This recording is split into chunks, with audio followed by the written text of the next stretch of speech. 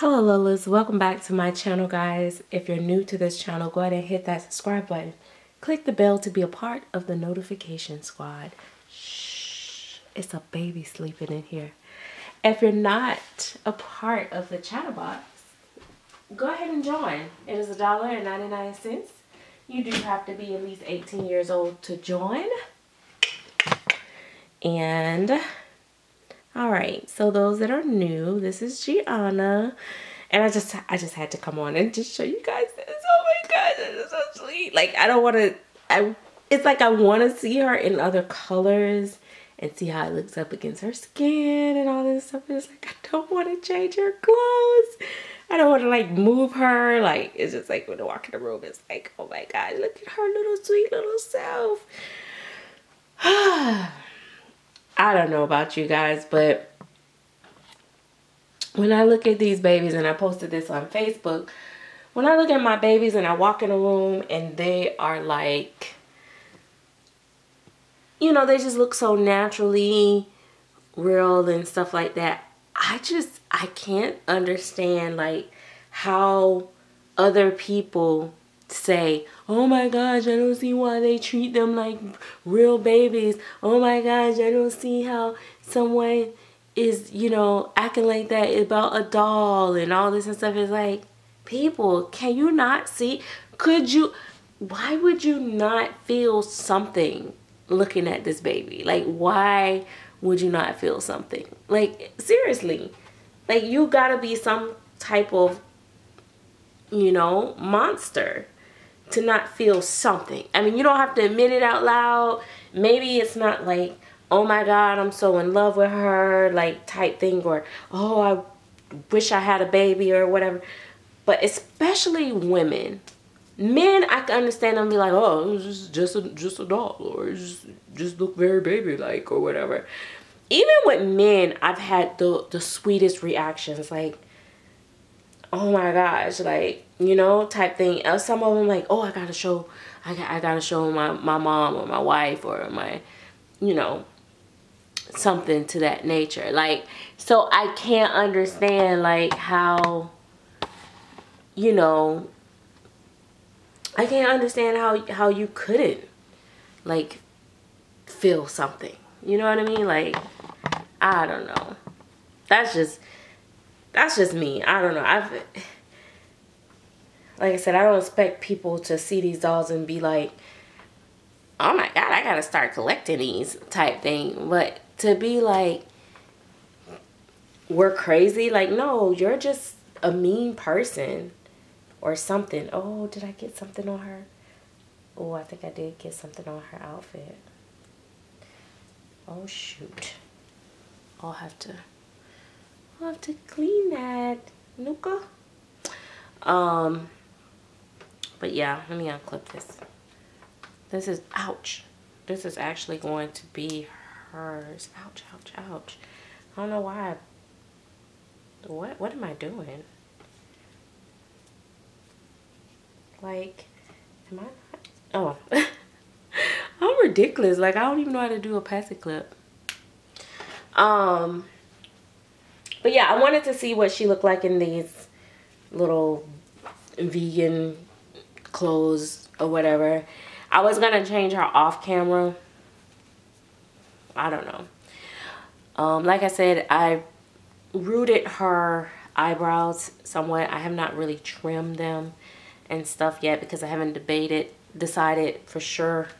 I'm still debating if I'm going to like seal them or if I'm going to just leave them, you know, just free. If I leave them free, then I try to trim them more and have them more just in a way that's uh,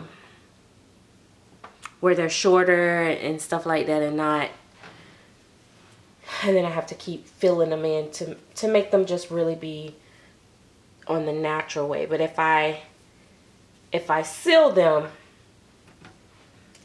I, leave them a little bit longer and it kind of just lay them the way that I would if I was painting them and it doesn't it doesn't matter if the strands are longer or not. Look at, look at these little fat little thighs. Oh my gosh, like How can you not love this baby? Like, she's so sweet.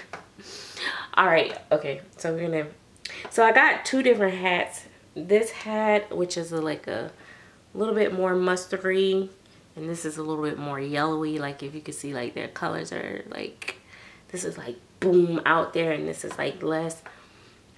I'm thinking about, I think less would be probably the best, but we'll see. Sam Ball. Hey, Baldy. Hey, Baldy Squaldy. um, I was going to put her hat on, but I'm going to put this on first because it's just to end up coming off anyway. So, um, so yeah, I'm this, and this is like, I've put this on my boys. Now I'm to put this on her. Try not to make her eyebrows go bushy. Where's the, uh, I don't know where the brush is. It's probably over there in the basket. It's okay. Anyway, um, so yeah. And I just, I really like love like her.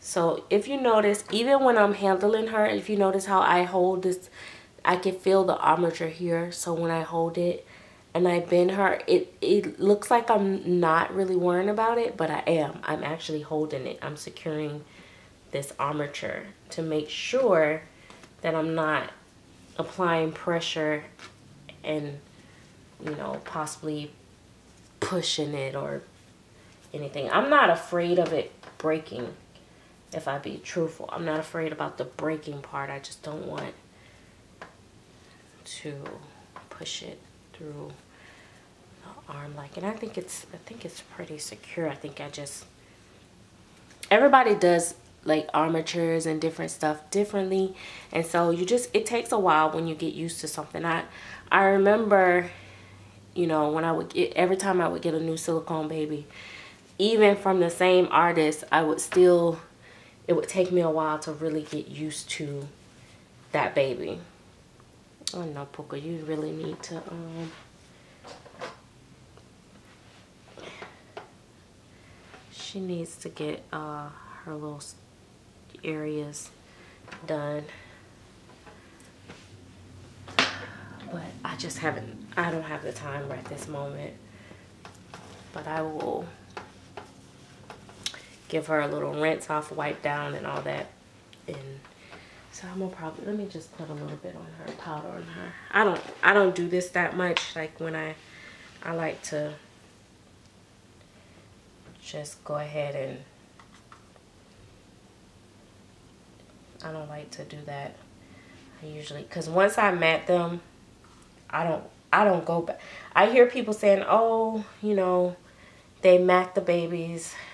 They use mat before they're dressing them and stuff like that and I just don't do that once once my babies are uh are like matted or whatever I don't usually go back and, and powder them I really don't to be honest um, but I don't see nothing wrong with it if you do um, I just personally I mean usually my babies are pretty much not like tacky or sticky after they're matted so it's not really like a need for it but if they were to get tacky I, I would I would just powder them down.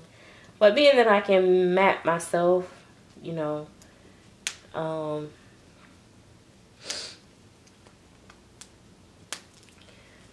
you know I'll try to catch whatever I can catch but otherwise like I said if if they don't if it don't work out, it don't work out. Like if it, if they feel like they're tacky or whatever, sometimes the weather can affect that. Oh, this foot is really cute. I love the toe on this one. Um, then you know you do what you what what you like. You know, everybody you know enjoy their babies differently, and I just feel like we spend our money on these babies and if we want to mat them or whatever you want to do, with your baby, your the money that you spent on your baby, then you do that. Only thing I don't like is when people come back and, you know, try to throw it back on the artist or go, you know, be in the, the forums trying to make the artist look bad because you know you've done like some extra stuff behind the scenes to that baby and then you you know then you have something to say. Now granted you know the baby does have to come home in a you know in a good way. But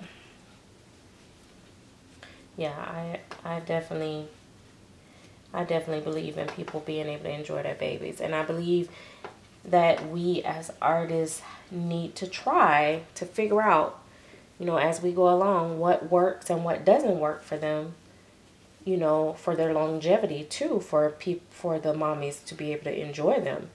Because, you know, we're collectors. Well, some of us are collectors, and I, I think that's a problem too. Some of us are not, not collectors. This is her little shoe. I'm gonna show y'all in a minute. But I mean, that's kind of the problem too. Um, that's why I used to be drawn to a particular um, artist because they were a collector too. And so they understood how we liked, I'm sorry, I'm looking for the brush because this eyebrow is over here driving me insane. But I don't know what I did with the brush. Um, but they understood what it felt like to want to dress your babies and stuff like that. And I felt like um, I enjoyed, you know, buying from them because they did extra stuff like, you know, um, they textured in a way to where, you know, I didn't feel paranoid about dressing my baby multiple times, you know, um, in a week or something like that. Like I, I felt very confident because of the the the um, the texture that they did, and um, you know some some artists just the way that they paint and just knowing that you know I'm not going to do one one clothes change and the baby's paint going to be rubbing off. Um, and so I was just you know, I just felt more comfortable with that. But that's because they were a collector themselves, I feel like. And I feel like they, oh my God, I love her. I feel like they, uh, should I give her a buy? I just, you just gotta look at those little lips. But um, I feel like they, they, they understood us more and they tried to paint their babies accordingly. That's just, you know, what I why I liked dealing with them as artists. Let me show you. So like, so like that's her. Like I just put on those little little shoes, even though it's so cute. She's so cute.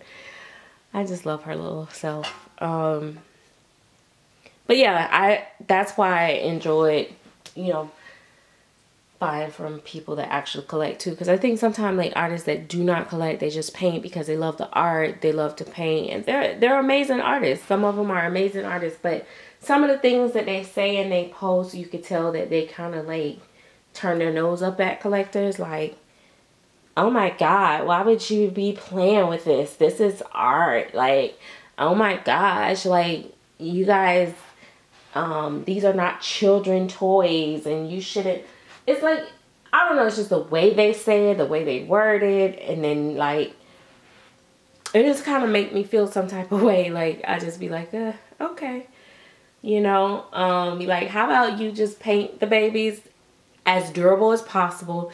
The best way I I have seen some other like really high end artists word it is like, I want you to be able to enjoy your baby. I want them to last for a long time. So definitely enjoy your babies but keep in mind that they are still art so handle them with care and try not to be excessive in anything. Like for instance people be like oh you shouldn't be bathing your silicone. You can absolutely give them a wash off. Basically it's a rinse. You just put them in the water you kind of rubbing the water across them getting the lint and the dust or anything off of them. You're not scrubbing them down with soap and all that. And it doesn't hurt the doll like some people make it seem like it's just oh my god it's the end of the world type thing. It's part of the fun too. Like you if you ever seen a silicone baby in water it's like the most real thing.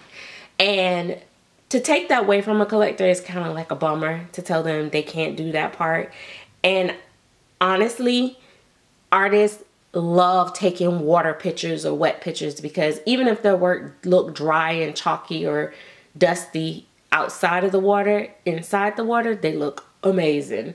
So, you know, then they come back with the that's a part of the painting process. So do not, I do not recommend you bathing.